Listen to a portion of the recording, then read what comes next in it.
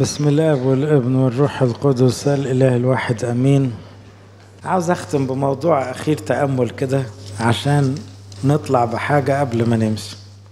من الحاجات اللي تخلي الواحد يعرف يوصل للسماء إنه يحافظ على سلامه. في الزمن ده أكتر حاجة بشوفها إن أغلب الناس بما فيهم خدام فاقدين سلامهم. الناس مكشرة متجهمة منزعجة القلق والخوف صوته عالي. السلام هربان. مع إن إحنا كمسيحيين السلام ده حاجة تميزنا. مش كلمة بنقولها لا دي حالة بنعيشها. لأن المسيح قال سلامي أترك لكم. الاحتفاظ بالسلام ضرورة لدخول السماء. عارفين ليه؟ لو فكرتوا لما السلام بيهرب المناعة بتقل. يعني واحد فاقد سلامه تلاقيه يغضب بسهولة. تلاقيه يلوم الناس ويدين الناس كتير. تلاقيه يقع في التذمر وممكن توصل لتجديف. مع فقدان السلام تلاقي في اندفاع في القرارات وتيجي قرارات غلط تعمل مشاكل كبيرة.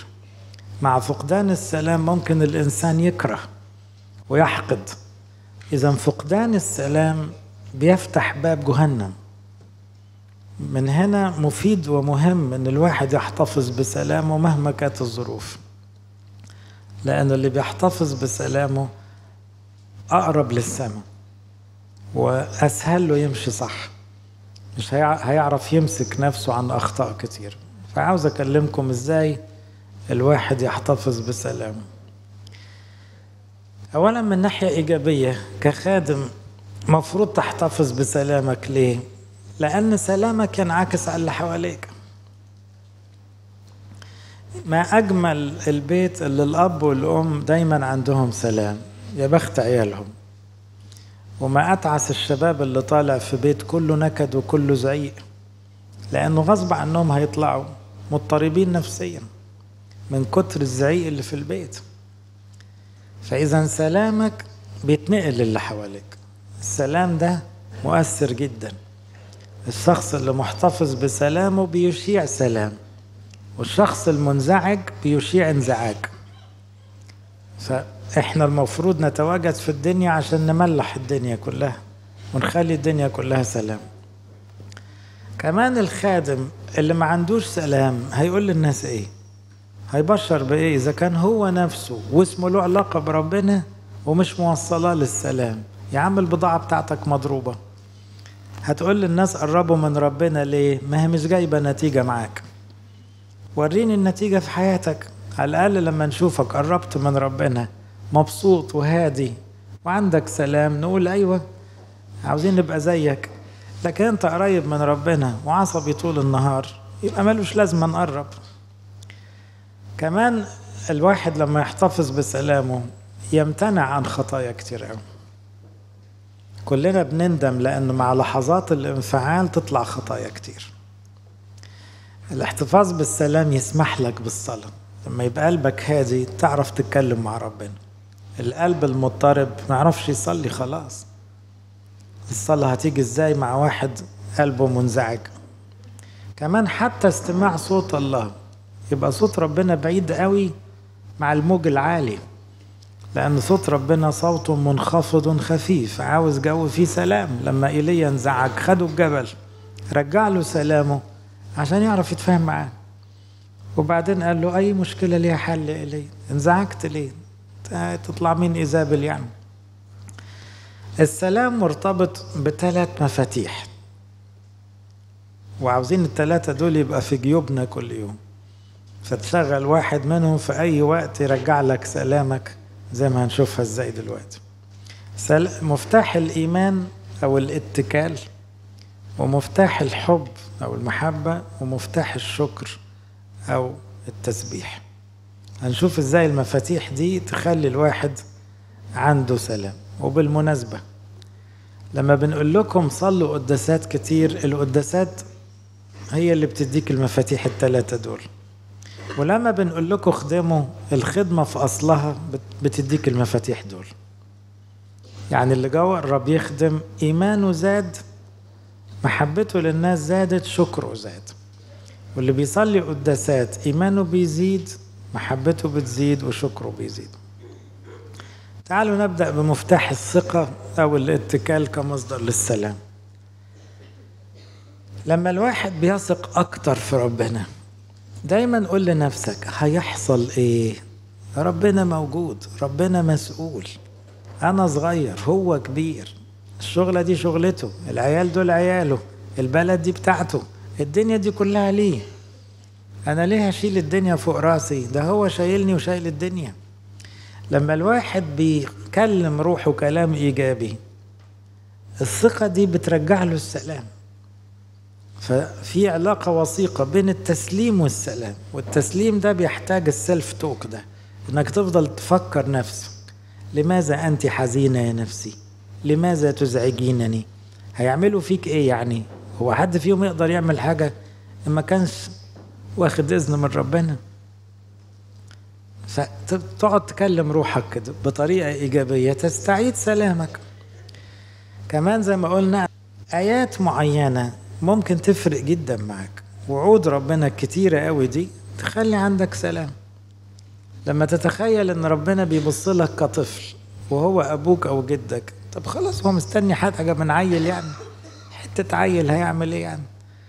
صليت ولا ما صليتش؟ بقى عيل. بس هو الكبير عشان كده بيقول من لا يقبل ملكوت الله مثل ولد فلن يدخله. يعني إيه؟ ما تستناش من نفسك كتير. استنى من ربنا كتير. ما تستناش من نفسك كتير تبقى نفسك تصلي السبع صلوات. ومش عارف. يا ابني ما انت على قدك. خلاص اعترف قدام نفسك انك غلبان وعلى قدك. لكن استنى من ربنا كتير لأنه هو الكبير بس انت على قدك. الثقة في إنه اللي سايق الدنيا شخص حكيم جدا جدا. وملوش غير غرض لمصلحتك. هو خلاصك وخلاص كل اللي حواليك. فده يخليك رايق آخر روقان. ليه؟ الحكمة الإلهية تطمنك. ما أبعد أحكامه عن الفحص. البلد دي متساقة بربنا والعالم كله والخدمة. فالموضوع ما يستاهلش منك الفرق والهري والكلام ده خالص. هو عارف بيعمل إيه كويس. الثقة في الملكوت إحنا مدعوين للملكوت وعمال يجهزنا للملكوت. طب ما ده لوحده يخليك عندك سلام. مرة كنت قاعد بزور واحد مريض وحالته صعبة يعني. قال لي بص أنا عندي سلام غريب. خفيت هخدم. ما خفيتش باخد إكليل. موت رايح السماء. فالحكاية محصلة بعض. فأنا عندي سلام. مش فارق معايا حتى خف ولا أفضل عيان ولا موت. التلاتة بالنسبة لي أحلى من بعض. قلت له يا بختك يا أخوي أنت وصل لها إزاي دي؟ هو ده اللي عنده سلام. جاية من إيه؟ من التسليم. لو ربنا شايف له لسه له رسالة هيخف. لو شايف الوجع مفيد هيتوجع. لو شايف كفاية عليه كده أحلى وأحلى. هو ده المسيح الصح. اللي ما فيش حاجة تفرق معاه في الآخر. كمان الثقة في استجابة الصلاة. هو إحنا فاكرين إن صلواتنا دي قليلة عند ربنا. ده كل كلمة الواحد بيقولها عند ربنا مخزنها. يعني أنا دايما أتعجب من كلمة رئيس الملائكة لأبونا زكريا وأليصابات يقول له طلباتك قد سمعت.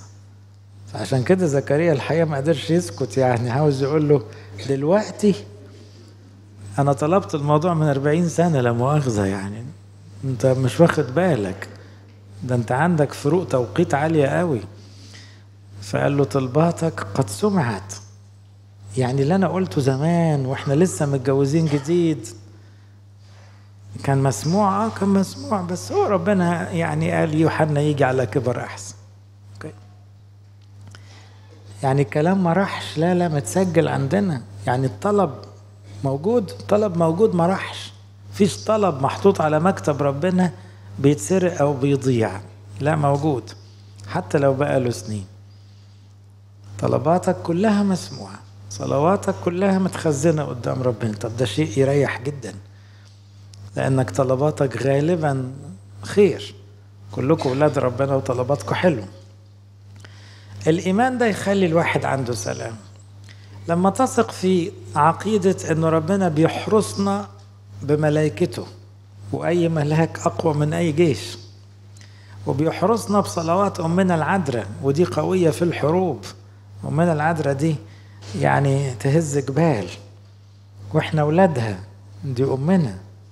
طب ما ده شيء يخليك مطمن جدا.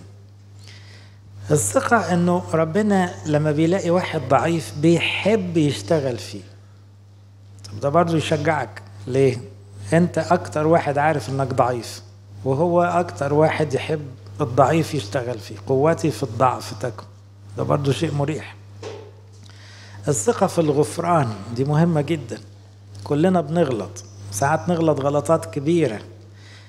بس في حاجة اسمها غفران دي مش فكرة وهمية دي حقيقة. دي إرادة إلهية. ربنا يحب يشيل الخطية. مات عشان كده. والغفران مهما كلفه هو يكثر الغفران. خليك واثق. الثقة في التغيير. مهما كان طبعك وعيوبك ومشاكلك وظروفك كل ده ممكن يتغير. لأنه بيحب يعمل كده وبيعرف يعمل كده كويس. كل المجالات الثقة دي نتيجتها إيه؟ سلام. فهمتوا المفتاح؟ فأول ما تلاقي نفسك فاقد سلامك دور في جيوبك على مفتاح الثقة أو مفتاح التسليم. لازم أنت ما شغلتوش كويس. شغله هتلاقي نفسك استعدت سلامك. تاني مفتاح مفتاح المحبة. وهنا أقصد مش محبتك لربنا أقصد محبتك للناس. ما يفقدنا السلام هو توتر العلاقات. في الشغل ناس متعبين. في البيت ناس ساعات متعبين. في الخدمة ناس عادة متعبين. طيب وبعدين كده انت هتفقد سلامك طول الوقت؟ لا.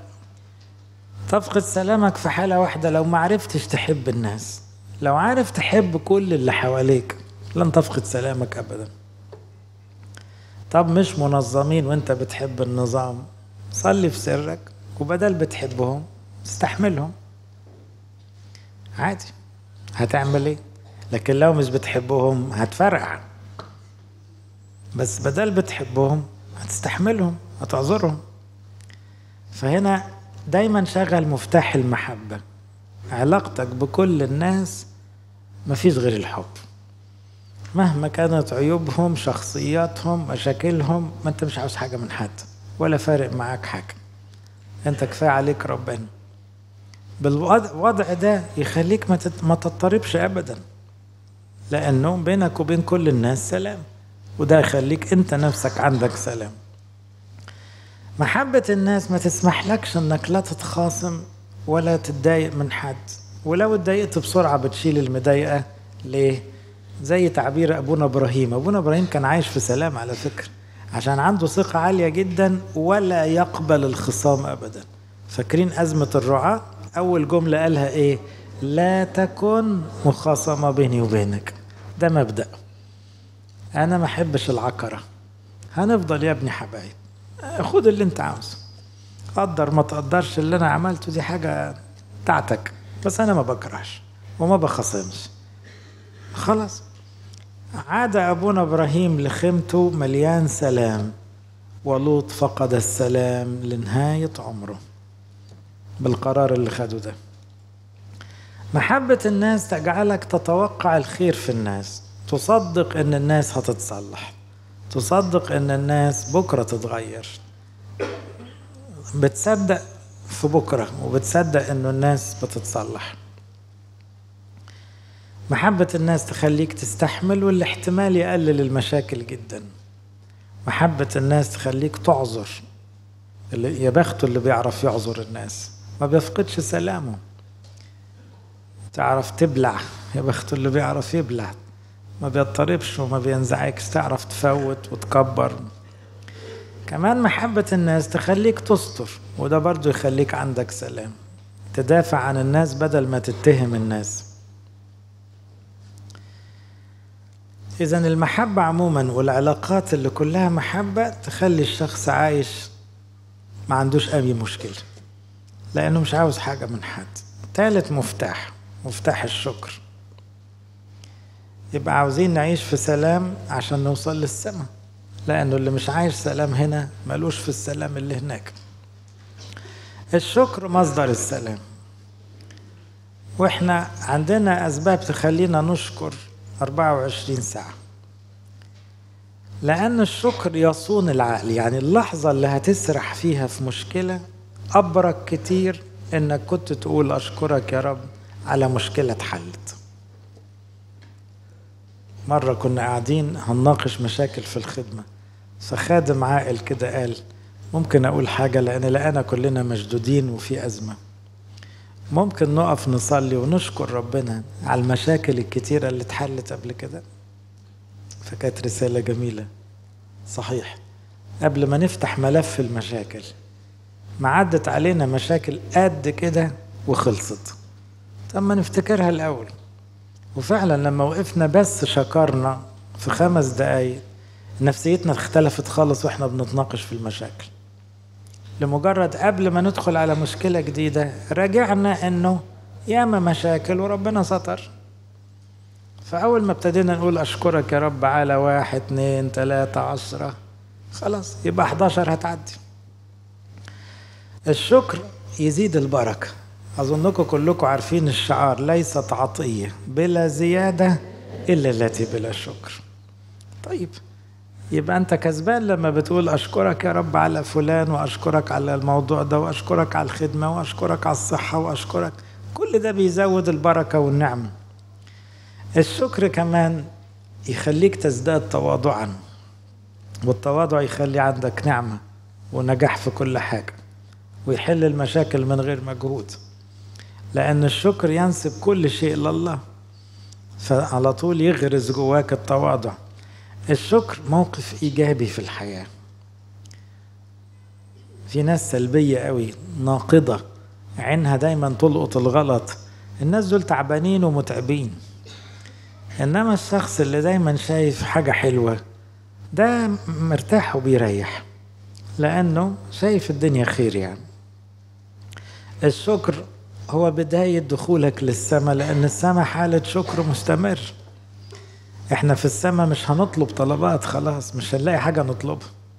ما عندناش حاجة نطلبها لا هنطلب شفاء مفيش أمراض ولا هنطلب عمر ما هو مفيش موت ولا هنطلب حل مشاكل مفيش مشاكل ولا هنطلب حتى الرحمة لأن مفيش خطية. فمش هنلاقي حاجة نطلبها في السماء كل اللي هنعمله في السماء متشكرين يا رب. طب ما نبتديها من دلوقتي. يبقى كده حطينا رجلينا في السماء تعالوا نتدرب عشان نختم ونصلي. لما نفقد السلام والحمد لله ده مش قليل. أول حاجة صلي بسرعة وراجع الثقة. راجع إيمانياتك الكم نقطة اللي أنا قعدت أحكي فيهم.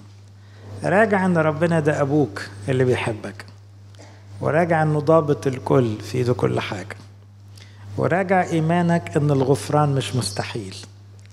وراجع إن ربنا بيلم وراك حتى أخطائك وراجع إن السماء اسمك مكتوب فيها ما تمسحش راجع كل ما هو إيماني موضوع ثقة لما تفقد سلامك راجع ده لو سمحت. لأن ما حصلش حاجة. مهما حصل في الدنيا برضو بقول لك ما حصلش حاجة. بدل السما ما اتسرقتش العمر يتسرق وماله. ما تفرقش كتير. لما تفقد سلامك صلي وراجع علاقتك بالناس. انت عاوز إيه من الناس؟ الناس دول متعبين. انت مطلوب منك إيه؟ حبه يعني سامح يعني اعذر يعني استحمله يعني شجعه لكن مش مطلوب ان هم يتغيروا. اتغيروا ولا ما اتغيروش دي مش موضوعك انت ده. فانت لما تصلي وتراجع مبادئ المحبة هتلاقي نفسك استعدت سلامك.